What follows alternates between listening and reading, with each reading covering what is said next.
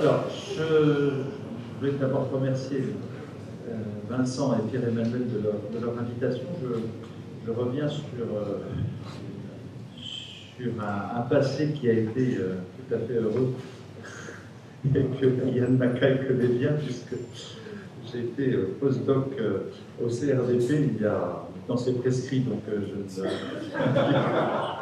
je n'indiquerai pas l'époque à laquelle c'est arrivé et où j'ai gardé d'excellents souvenirs et surtout d'excellents amis que j'ai renouvelés par la suite. Euh, je m'exprimerai en français, c'est pour faire la balance avec euh, ceux qui le font en anglais, euh, avec cette différence que je n'ai pas de, de, slides, mais simplement le, plan de mon intervention que vous commencez de, de voir défiler. But uh, question in English are welcome, anyhow, à la fin de, à la fin de cette intervention. Alors je vais essayer euh, de tenir mon temps de parole, ce qui n'est pas facile avec le sujet qui euh, m'avait été imparti, que j'ai d'ailleurs un peu choisi, il faut bien le dire, à savoir la question donc, euh, des relations entre la, propriété industrielle et le, coût social de l'innovation, qui, vous le comprendrez bien, est un sujet particulièrement vaste et dont je ne ferai que dresser une sorte de cartographie de façon à permettre euh, d'accrocher un certain nombre de thèmes sans malheureusement pouvoir euh, les développer chacun, puisqu'il nécessiterait évidemment pour chacun d'eux euh, des, approches beaucoup plus approfondies. L'idée qui a guidé cette intervention et qui fait le lien avec plusieurs interventions précédentes, un certain nombre de choses pourront être ont été déjà dites, c'est de voir euh, de quelle manière se positionne la propriété industrielle par rapport à cette question, donc la prise en compte du coût social de l'innovation. Avec euh, une petite euh, note d'ordre sémantique qui avait été redite par Eve Seguin tout à l'heure, à savoir qu'il y a un monde de différence entre les créations telles qu'elles sont protégées par les droits de propriété industrielle, je me suis limité à ceci, et l'innovation. L'innovation, euh, elle, est en aval, en amont, pardon, en aval des droits de propriété industrielle, à savoir qu'il y a une dimension commerciale dans l'innovation qui n'existe pas, et c'est un peu le problème euh, qui va nous occuper dans euh, la propriété industrielle en général et en droit des brevets en particulier, puisque le succès d'une invention est assez rare. Il faut savoir, euh, pour avoir quelques statistiques euh, d'origine européenne, mais qui sont à peu près euh, pareilles au niveau mondial, la, plus, la grande majorité des brevets sont abandonnés après 6 ou 7 ans de paiement d'indemnité, à peu près 80% des brevets, ça veut dire que 80% des inventions ne verront jamais, je vais dire, le commencement du début d'un marché. Et pour celles qui restent brevetées, on verra tout à l'heure, euh, ce n'est pas nécessairement le marché qu'elles vont voir, mais l'empêchement à accéder à ce marché dans un certain nombre de, considérations. Donc il faut faire attention à cela. Innovation et invention, ce ne sont pas des synonymes. Et euh, d'autre part, l'invention par rapport aux connaissances scientifiques, c'est encore un autre monde. Euh, l'invention se situe quelque part entre la, ce qu'on appelait la recherche fondamentale et plus maintenant, ou les connaissances scientifiques et l'innovation. Euh, c'est un peu un passage obligé désormais pour l'innovation, parce que si on veut avoir des pouvoirs de marché suffisants, il faut avoir obtenu des droits de propriété industrielle. Pas toujours le cas, mais en général. Euh, mais ça n'a pas grand-chose à voir avec la connaissance scientifique qui, malgré l'existence des droits de propriété industrielle, et souvent grâce à eux, bien le dire, reste très largement ouverte. L'ennemi de la propriété industrielle, il faut bien le dire, c'est le secret, c'est-à-dire l'absence de circulation de l'information. Alors, ceci étant dit, euh, ce que je vais vous dire est assez, général, euh, à savoir que euh, la propriété industrielle est toujours un peu le mal-aimé dans ces questions d'innovation et de coût social de l'innovation, puisqu'on lui impute beaucoup de j'allais dire, de, malheur, beaucoup de responsabilités lorsque euh, l'innovation fait de la casse sociale euh, d'une manière générale. C'est un peu être, euh, aller vite en besogne vis-à-vis du, droit des brevets en particulier, de la propriété industrielle en général. Il est vrai aussi, et ce sera mon, premier point, que euh, la propriété industrielle, en étant, j'allais dire, euh, instrumentalisée très largement par l'économie depuis une trentaine ou une quarantaine d'années, euh, a pris sans doute des tours ou des, des décisions qui pouvaient effectivement contrarier l'intérêt social et l'intérêt général. C'est ce qu'on verra, c'est ce que Schumpeter avait, prévu, c'est-à-dire que la propriété industrielle, en tant qu'elle est le moteur de l'innovation, un des moteurs essentiels, va conduire à cette sorte de destruction créatrice qu'il euh, définissait dans les années 30 dans ses ouvrages euh, essentiels. Et il est vrai que la propriété industrielle et essentiellement le brevet ont épousé effectivement ces thèses très schumpeteriennes jusqu'à une époque tout à fait récente, avec les conséquences sociales, bien entendu, que chacun connaît. Et puis mon deuxième point, c'est de voir précisément qu'il y a un changement probablement euh, lancé depuis peu de temps vers euh, le fait que l'innovation telle qu'elle est brevetée, l'invention, et en particulier toute la création industrielle, peut constituer peut-être un frein à ce que j'appellerais, et ce que certains auteurs ont appelé euh, l'innovation destructrice, c'est-à-dire le fait de freiner cette destruction sous-pétérienne de, euh, sociale qui est causée par, par l'innovation. Alors, commençons tout d'abord par euh, ce premier aspect tout à fait classique de la propriété industrielle comme moteur de la destruction moteur de la destruction créative, productive en quelque sorte, tel que euh, Schumpeter euh, la prévoyait ou l'avait entrevue euh, à la fin des années 30. dans sa théorie de, Schumpeter, dans sa théorie, les entrepreneurs ont comme force motrice évidemment la croissance économique sur le long terme. Et cette croissance économique sur le long terme, est permise par de nombreuses innovations qui vont être permises notamment par euh, la propriété industrielle. Et dans un premier temps, ce processus d'innovation va détruire évidemment un certain nombre d'éléments sociaux, des emplois, des entreprises, euh, des structures, mais euh, ces contraintes à la reconversion que l'on connaît tous et qu'on a décrit, que vous avez décrit dans les années 70, vont déboucher sur un monde nouveau en quelque sorte, puisque cette conversion va conduire à l'ouverture de nouveaux marchés, euh, de nouveaux emplois, des reconversions heureuses, du moins ce que l'on pouvait imaginer. C'est ce qui s'est passé d'ailleurs euh, dans les Trente Glorieuses, en grande partie. Nous n'oublions pas. Euh, la difficulté avec ceci, c'est que le droit des brevets a été obligé, la propriété industrielle ont été obligés euh, de s'adapter évidemment à cette contrainte particulière économique. Euh, et, d'une manière générale, la technique du brevet va évoluer et la propriété industrielle en se économisant en quelque sorte, en se rendant plus économique. Cette économisation de la propriété industrielle, en fait c'est un anglicisme, hein, le, terme français est tout à fait différent, va se traduire, pour en prendre trois exemples, par d'une part euh, les critères de transformation des critères d'utilité et de mérite, d'autre part euh, le changement de fonction des droits de propriété industrielle, qui va être une fonction beaucoup plus économique, voire même exclusivement économique, alors qu'elle était sans doute plus large auparavant, et d'autre part euh, avec un glissement qui est assez subtil mais réaliste, du droit de propriété industrielle comme couvrant à l'origine plutôt euh, des créations vers une protection véritablement de l'investissement. J'allais dire sans honte, parce qu'auparavant on ne protégeait pas par des droits et des privilèges particuliers un investissement particulier. Alors, voyons très rapidement ces, trois points, notamment la transformation de la notion d'utilité, voire même la notion de mérite, dans les droits de propriété intellectuelle.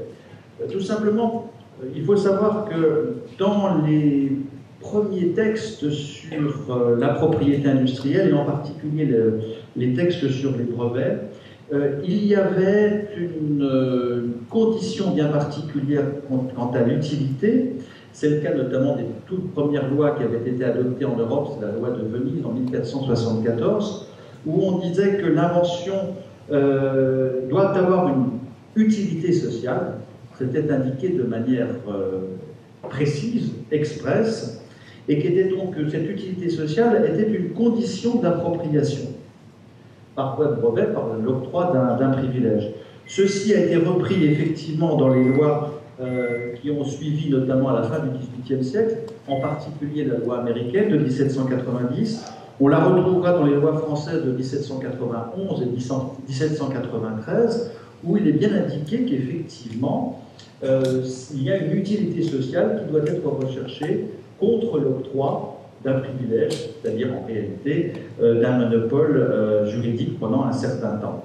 Et puis, on va voir que cette, cette notion d'utilité, voire même de mérite, vont s'éroder au fur et à mesure des temps, et non pas pour disparaître, mais pour se transformer en une condition purement économique, ou essentiellement économique, euh, c'est d'ailleurs un, changement qui va être euh, euh, initié notamment par toute l'école de Bentham, c'est-à-dire que les droits qui vont être accordés, c'est d'ailleurs la même évolution qu'on trouve en droit des biens dans les systèmes continentaux, peut-être moins en common law, mais moins dans les systèmes de, droit civil et de droit germanique, à savoir que c'est la notion de valeur d'échange qui va primer sur véritablement l'utilité sociale.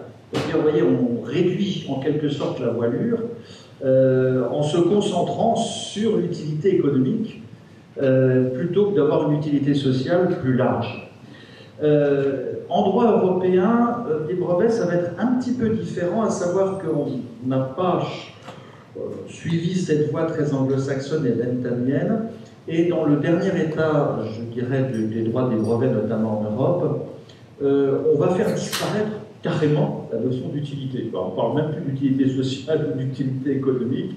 Euh, l'invention se caractérise par euh, l'activité inventive, qui est une notion qui est à, rechercher dans la notion de technique ou de technicité, et plus du tout dans la notion d'utilité sociale ou moins sociale, euh, comme dans les, dans les approches anglo-saxonnes.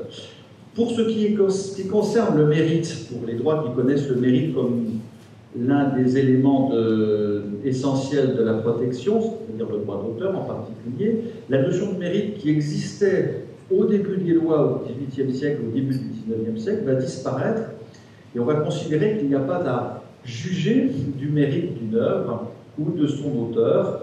Euh, et par voie de conséquence de l'utilité sociale que peut avoir le fait de, publier tel ouvrage ou de protéger cet un ouvrage ou autre création littéraire ou artistique au plan strictement social. Donc on a une, évolution un peu parallèle euh, en la matière sur ces deux notions qui ne sont pas nécessairement des notions clés, mais qui éclairent, je dirais, le changement de paradigme qui s'est opéré dans le droit de la propriété industrielle, voire même intellectuelle.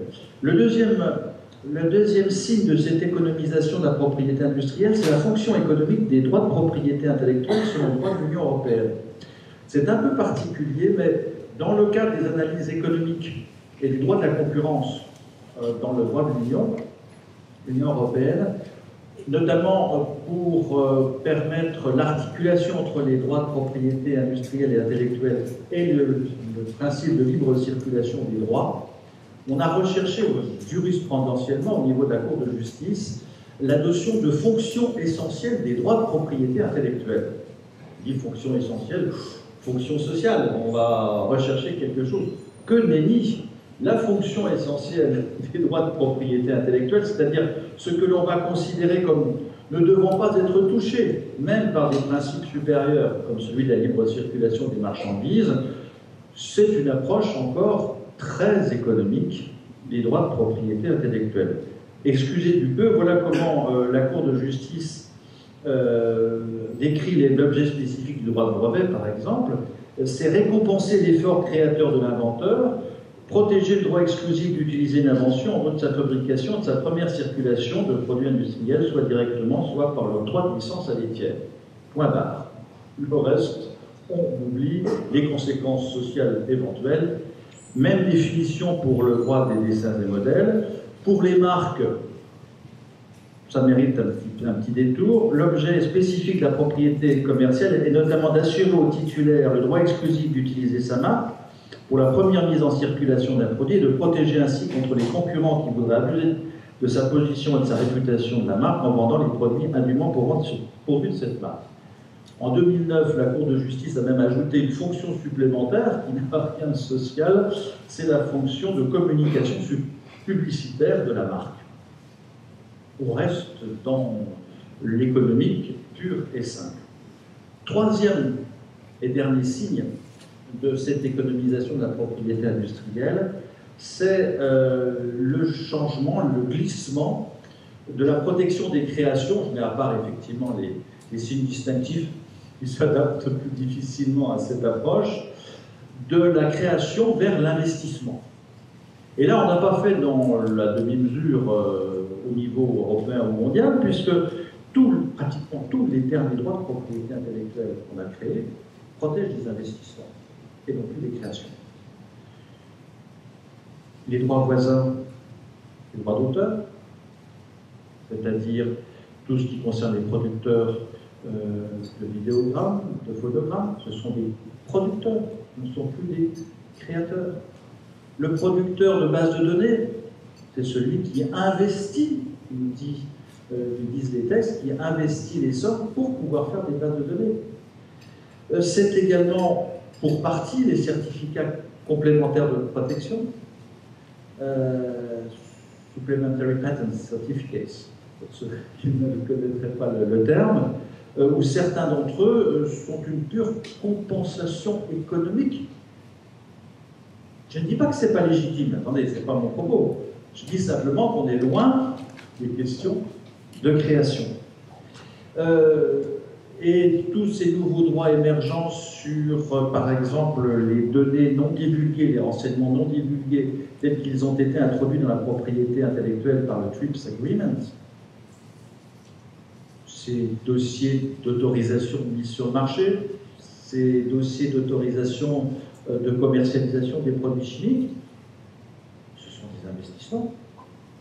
Je ne dis pas que ce n'est pas légitime de les protéger, mais de création au sens euh, le moins philosophique du terme, plus rien. Donc on voit déjà une... Euh, et, c'est ce que dit, je tire ça de, Jean Tirole, notre prix Nobel 2014, qui dit bien la chose suivante. En définitive, le raisonnement économique est extrêmement simple, nous dit-il. Il s'agit de récompenser l'innovation et l'investissement, mais il ne faut pas récompenser les rentes qui ne seraient pas dues à l'innovation et à l'investissement mais uniquement au hasard, au monopole a tout simplement des économies d'échelle réelles et vues. C'est-à-dire qu'on met sur le même plan, pour les droits de propriété intellectuelle, la création et l'investissement. C'est en quelque sorte la négation, je dirais, de la propriété intellectuelle telle qu'on la connaissait depuis la fin du euh, 19e siècle. Oula, j'ai appuyé sur le même bouton. Euh, deuxième, je, force la mur, regardez le temps.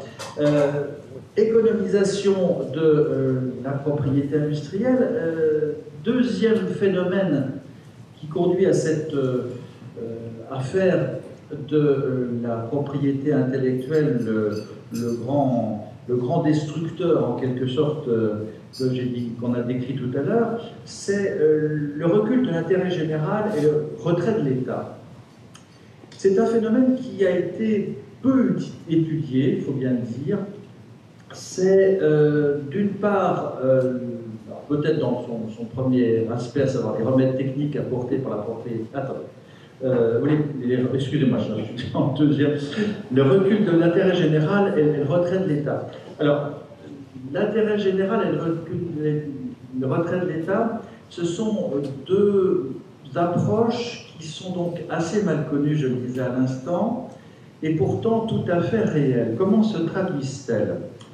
D'une part, euh, dans un élément technique, effectivement, qui euh, était l'exigence de conformité des inventions à l'ordre public et aux bonnes mœurs. C'est un peu un rappel d'ordre général, qui rappelle pour euh, les civilistes que certains d'entre vous le sont l'article 6 du Code civil, à savoir la conformité en quelque sorte de toute activité juridique à des normes sociales non dites qu'on appelle l'ordre public et les bonnes mœurs. Vous avez le rappel de cette, euh, de cette notion de conformité également en propriété intellectuelle, et on pourrait voir là effectivement le, saut du fait que la propriété intellectuelle doit rester conforme à l'intérêt général de manière générale et aux intérêts sociaux d'un point de vue plus particulier. Là encore, que nenni, puisque euh, cette, euh, cette exigence, qui est pourtant une exigence forte, ne se traduit quasiment jamais dans les faits. Au niveau de l'Office européen des brevets, qui délivre quand même quelque chose comme 70 euh, 000 brevets par an, c'est quand même un volume substantiel. Au cours de, des 25 dernières années, on a eu un cas.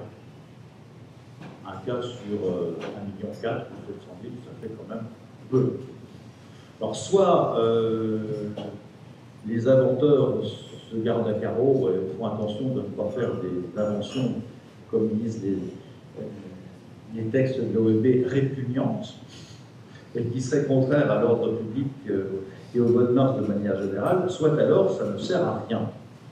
J'aurais tendance à dire que euh, c'est plutôt la deuxième solution que j'adopte, c'est-à-dire que cela ne sert à rien et que les pauvres examinateurs qui ont déjà beaucoup à faire avec les aspects techniques ne vont pas aller rechercher euh, des questions de conformité à un ordre social ou à des exigences sociales plus ou moins floues. Ça, c'est le premier point. Deuxième point, euh, c'est le retrait de l'État. L'État, c'est quand même lui qui délivre les titres. La propriété industrielle n'est pas une propriété spontanée. C'est l'héritière des privilèges d'Ancien Régime où le prince vous donnait euh, le droit d'aller imprimer pendant des années, euh, si vous appelez du Gutenberg, etc. L'État, très naturellement, a pris la suite du prince. Mais sauf que maintenant, l'État disparaît, la propriété industrielle. Comment il disparaît ben, D'abord, les offices fonctionnent de plus en plus j'espère qu'on aura peut-être la confirmation de l'Office israélien, comme des entreprises privées. Euh, il y a récemment, récemment encore, euh, le président de l'Office européen des brevets, M. Battistelli, quand il parlait des déposants, dit mes clients. Et il a raison. Ça ne fonctionne qu'avec les taxes qui sont payées. Et donc, euh, on peut se demander si euh, l'Office européen des brevets n'est pas un office national. C'est pour l'instant le plus grand office du monde, avant que les Chinois, l'office chinois prenne le, relais. Ce n'est pas un office d'État. Alors, il est créé, effectivement, c'est un transfert de compétences étatiques. On peut avoir des tas d'explications juridiques tout à fait justifiées d'ailleurs sur cette question. Il n'en meurt pas moins que c'est géré comme une, entre guillemets, une boutique privée et que ça fonctionne d'ailleurs fort bien, comme une entreprise privée. Euh, autre signe de, ce, de, cette désaffection de l'État, on a même des pseudo-droits de propriété intellectuelle qui sont délivrés par l'entreprise privée. L'un d'eux, il n'est pas encore au panthéon de la propriété intellectuelle, mais il y est bientôt, et nom de domaine. Délivré par quoi L'ICANN. L'ICANN, c'est une association de droit privé ça fonctionne fort bien. Qu'est-ce que l'État viendrait Un État, des États viendraient faire là-dedans? C'est peut-être euh, avant-coureur, si vous voulez mieux, euh, d'un changement de paradigme. Autre, euh, deux autres éléments d'ordre plus juridique. Dans la tradition, au moins européenne, lorsqu'il y avait des, des, contentieux en matière de brevets, par exemple, le ministère public était présent. Présent maintenant, mais simplement la chaise est vide. Euh, davantage encore, lorsqu'on a élaboré la, la, juridiction unifiée des brevets au niveau européen, on n'a même pas pensé à faire représenter les intérêts de la collectivité par un commissaire du gouvernement ou par qui que ce soit. Et quand j'ai posé la question au rédacteur, On dit, ah bon? Il n'y a plus de représentants de la collectivité et de l'intérêt public dans les contentieux en matière de brevet.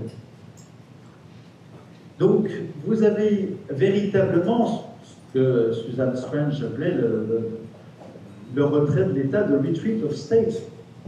L'État se désengage au, au profit d'autres organisations qui ne sont pas nécessairement privées, mais de lobbies, d'organisations professionnelles, etc., pour la délivrance des titres, et c'est eux qui sont à la manœuvre, dans beaucoup de cas, pour la politique en matière de propriété industrielle.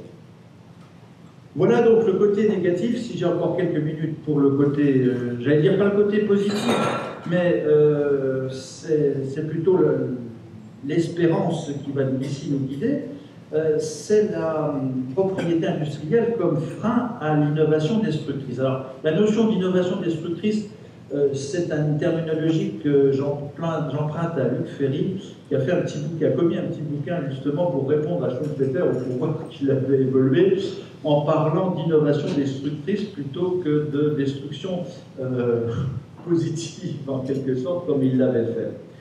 Et c'est de voir cette fois-ci comment la propriété intellectuelle ou industrielle peut être un frein précisément à cette destruction. Alors, euh,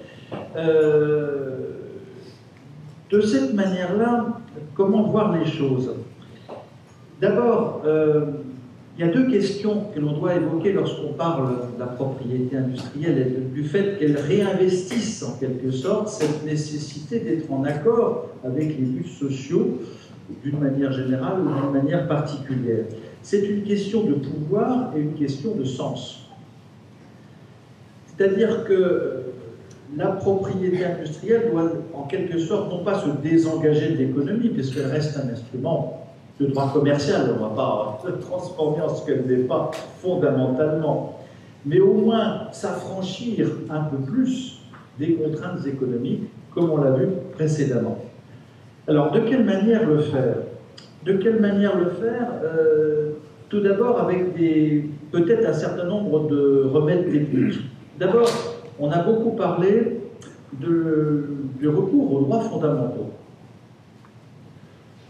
Personnellement, je n'y crois guère, ou je n'y vois guère une solution pérenne et systématique. De quoi s'agit-il? Curieusement, alors peut-être sans doute le phénomène n'a pas encore touché l'Amérique du Nord, et je vous en félicite.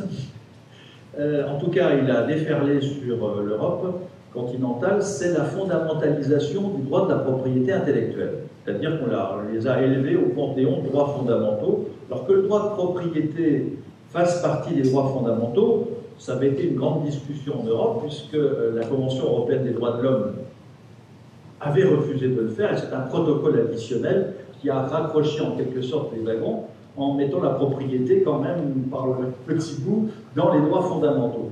Et là, une fois que la porte a été ouverte, ou moins que le pied a été euh, poussé dans la porte, derrière s'est engouffré il y a 5, 5 ou 6 ans, une petite dizaine d'années, les droits de propriété intellectuelle, en disant, ce qui n'est pas faux d'un point de vue juridique, nous sommes des formes de propriété, donc on doit bénéficier de la même protection des droits fondamentaux que la propriété physique de l'article 544 du Code civil.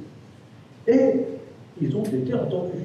Vous avez même des droits constitutionnels qui sont créés euh, pour défendre les droits de propriété intellectuelle et industrielle. Alors, qu'on le fasse pour le droit d'auteur, compte tenu du caractère très personnaliste qu'il peut avoir dans certaines hypothèses, ça peut se comprendre. Pour un droit de marque, ou pour le modèle d'un sac à main, j'ai un peu plus de mal quand même à euh, fondamentaliser les choses.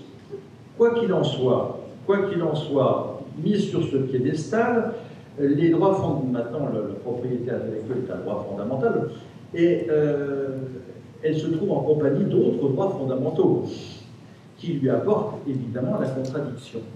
D'où l'utilisation qui a été faite depuis une petite quinzaine d'années d'opposer la propriété intellectuelle à d'autres droits fondamentaux pour en limiter la portée au bénéfice évidemment d'un certain nombre euh, de conséquences directement sociales. Liberté d'expression, par exemple, le droit des marques à des procès retentissants ou l'utilisation de, des marques, par exemple, pour faire de la critique d'une entreprise, ont été considérées comme n'étant pas des contrefaçons, par exemple, au nom de la liberté d'expression. Donc on a limité, je vais dire socialement, la portée des droits de propriété intellectuelle pour ménager un certain nombre de droits fondamentaux. C'est une technique qui est possible, mais je suis un peu sceptique pour deux raisons. La première raison, c'est que on oppose des droits individuels à d'autres droits individuels. On reste dans l'individuel alors qu'on cherche quand même protection du collectif. Et ça me paraît y avoir une espèce de, paradoxe à utiliser des droits individuels pour défendre des, acteurs, des, intérêts collectifs. Et puis la deuxième chose, c'est que euh, ce n'est pas très pratique puisqu'il faudra faire une pondération entre les droits, entre les droits, ce qui est d'un byzantinisme juridique total, c'est-à-dire qui n'apporte strictement aucune sécurité juridique, ce qui est bien compliqué. La deuxième chose, c'est la, redécouverte de la fonction sociale des droits. Alors, c'est la grande idée de Duguy, de Josserand, etc. On peut voir des droits qui sont porteurs de valeurs sociales. Il n'existe de droits que s'ils sont conformes à l'objectif, à la fonction sociale. Certes, c'est parfaitement louable, mais on retombe sur ce qu'on a dit précédemment, quelle peut être la fonction sociale des droits de propriété intellectuelle, de propriété industrielle? Au-delà de ce qu'on a dit tout à l'heure, c'est-à-dire la récompense de l'effort créatif. Sinon, on est obligé, évidemment, euh, d'aller euh, beaucoup plus loin, euh, d'aller rechercher quelles sont les conséquences parfois lointaines de telle ou telle invention. Et là, on retombe dans la difficulté qu'on a eue sémantique, qu'on a eue tout à l'heure, et qui est plus que sémantique, qui est réelle. C'est-à-dire qu'entre l'invention et l'innovation, il y a parfois un, un gouffre béant. Et donc, comment allez-vous rechercher les conséquences sociales d'une innovation au stade de l'invention? C'est pratiquement impossible. C'est extrêmement difficile. Donc, redécouverte de la fonction sociale des droits, sans doute, mais sous une forme tout à fait différente et sans doute extrêmement modeste. Et puis, euh, dernière, euh, derniers, éléments, c'est euh, la question d'un éventuel changement de paradigme. Qu'est-ce que je veux dire par là? C'est la question d'un tout nouveau droit de propriété industrielle qui m'y a fait penser, le droit sur les savoirs traditionnels. Vous savez que c'est une, très ancienne revendication des pays du Sud, euh, depuis notamment la Convention de Rio sur la biodiversité en 1992, que l'on protège à côté notamment des ressources génétiques, également les savoirs qui sont attachés à ces ressources génétiques, et puis on s'est un peu détaché de la ressource pour aller plus loin en disant mais il y a des savoirs qui soient en rapport avec des ressources génétiques ou pas, qui méritent, euh, qui sont traditionnelles et qui méritent d'être protégées avant d'être pillées par euh, des, firmes du Nord et mal intentionnées qui, par la suite, euh, font des profits injustifiés et surtout qui ne sont pas redistribués aux créateurs émissions. Et puis je me suis dit, alors ça, a été très longtemps, ça pendant très longtemps, ça a été en dehors du droit positif, un certain nombre de pays d'Amérique du Sud, puis même du nord de l'Europe, et puis de l'Extrême-Orient, les ont intégrés dans leur loi nationale, et puis par euh, euh, l'accord de Nagoya, eh c'est rentré dans le droit positif petit à petit, et récemment en France, euh, une loi d'août 2016, 2016 introduit cette, ce nouveau type de protection dans le, le droit positif français. Je me faisais la réflexion en disant, mais où est l'innovation? Curieux changement de paradigme de la propriété industrielle qui ne protège plus, on l'a vu, qui ne protège plus que les créations, mais également de l'investissement, et maintenant qui, qui protège également des choses de tradition, c'est-à-dire des choses qui n'ont pas été modifiées ou peu incrémentées au cours des siècles, pour les figer en quelque sorte euh, par les droits de propriété industrielle. Quel curieux retour de la propriété industrielle qui revient sur, euh, sur l'innovation d'une certaine manière. Alors je ne sais pas on peut continuer le paradoxe assez loin, mais on n'est pas très loin malgré tout de, la protection par euh, le droit des, des appellations d'origine, qui est une forme, j'allais dire, de une forme pour figer des savoirs anciens qui ont été éprouvés. N'est plus dans la, la notion d'innovation, voire même d'invention avec ça. Alors peut-être que là, euh, on a euh, verre qui, qui, entre dans le fruit et qui va peut-être le faire changer, je n'en sais rien, mais c'est assez étonnant pour être, euh, pour être souligné. Ce qui veut dire aussi que c'est moins cette, cette réflexion utopique, une réflexion plus générale, qui est de dire, mais la propriété intellectuelle, finalement, elle est très accueillante, puisqu'elle accueille même son contraire. Donc c'est un gage d'évolution qui peut être médité euh, de ce point de vue-là. Et euh, enfin, le, deuxième exemple que je voulais prendre, et je terminerai par le lire, comme ça je serai euh, totalement correct avec avec les temps actuels, c'est l'exemple des technologies vertes. Les technologies vertes ont donné lieu effectivement à des réflexions euh, tout à fait intéressantes pour essayer d'inciter ou de désinciter euh, la propriété intellectuelle et la rediriger vers un but social qui est celui du droit de l'environnement et de la protection de l'environnement. Et de fait d'utiliser les mécanismes internes d'un certain nombre de droits de propriété intellectuelle pour les diriger dans un sens particulier. Euh, c'est un petit peu ce qu'on a vu euh, en, fiscalité, mais pour des, pour des buts peut-être plus honorables, moins de faire entrer de l'argent dans les poches de l'État, mais que de développer effectivement la protection, la protection de, l'environnement. Et ceci euh, se fait aussi bien en matière de droit des marques qu'en matière de propriété industrielle, de droit des brevets, c'est-à-dire des incitations pour les brevets divers, euh, et également pour les marques, pas simplement les marques vertes, mais également pour empêcher l'utilisation de tout le vocabulaire de l'écologie pour des produits ou des services qui n'ont rien d'écologique ou qui seraient même contraires euh, au droit euh, au développement de l'environnement. Là, ça peut être effectivement un, un, signe assez fort, et je terminerai pour un dernier exemple pour montrer que euh, cette utilisation des techniques internes du droit des brevets peuvent conduire à une modification des comportements des investisseurs et de manière très significative. Je terminerai sur cet exemple c'est l'exemple des biotechnologies et en particulier des cellules souches. En Europe, on a des dispositions qui interdisent l'utilisation euh, des embryons à des fins commerciales. Les cellules souches embryonnaires nécessitent que l'embryon, qui a quelques, quelques jours, hein, c'est simplement d'un petit amas cellulaire, soit évidemment sacrifié pour pouvoir obtenir ces cellules souches qui, jusqu'à une époque tout à fait récente, c'est-à-dire il y a quelques 6 ou 10 mois, ne pouvaient pas être reproduites. Il fallait chaque fois prendre un embryon nouveau. Et cette technologie, les brevets fondateurs de cette technologie, qui avait été déposés par l'Université de Wisconsin, ont été annulés et rejetés, puis annulés par l'Office européen des brevets, en une décision de la Grande Chambre de recours, puis une décision de la Cour européenne de, la Cour européenne de justice. Et euh, ceci a conduit à un désinvestissement massif des acteurs dans ce champ technologique. Et ça, ça peut être intéressant parce qu'on peut voir que, et d'ailleurs je me souviens, il y a eu des articles monstrueux dans toutes les revues, notamment dans Nature, disant que c'était scandaleux comme décision, etc.